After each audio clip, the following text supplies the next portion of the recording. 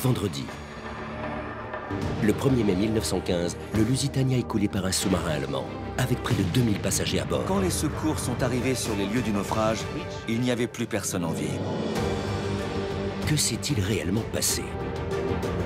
Survivants ont dit il y a deux explosions, donc deux torpilles. Une torpille n'aurait pas causé ce genre de dégâts. Le paquebot transportait-il des armes? Ou les Allemands ont-ils coulé pour provoquer l'entrée en guerre des États-Unis? C'est un drame d'une rapidité telle qu'elle alimente les rumeurs les plus folles.